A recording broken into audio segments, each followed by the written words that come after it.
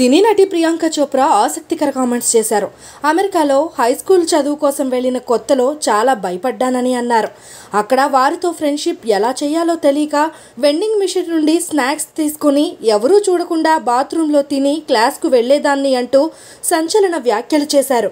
రీసెంట్గా తాను నటించిన సిటడెల్ వెబ్ సిరీస్ ప్రమోషన్స్లో నటి ప్రియాంక చోప్రా ఈ వ్యాఖ్యలు చేశారు. తాను చాలా భయస్థురాలనని.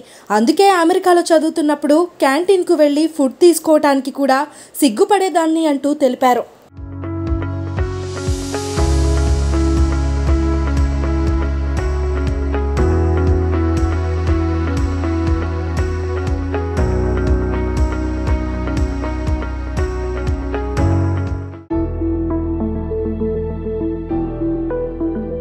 ఇలాంటి మరిన్ని లేటెస్ట్ అప్డేట్స్ కోసం టీఓటీ న్యూస్ని సబ్స్క్రైబ్ చేసుకోండి.